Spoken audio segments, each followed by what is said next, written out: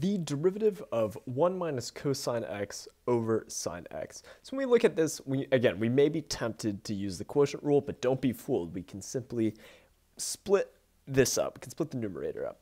So we can actually rewrite this as d dx 1 over sine x minus cosine x over sine x. So this is kind of cool because we can see here, we, if we know our trig, that this actually all simplifies out to some really cool stuff. So d dx, so 1 over sine x, well that's simply cosecant x minus cosecant x over sine x. That's cotangent x.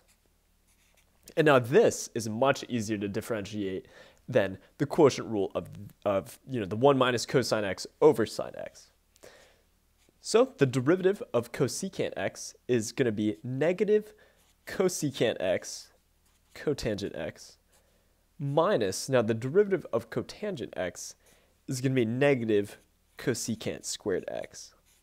So just to simplify this all out, make it nice and pretty, uh, this we have positive cosecant squared x here.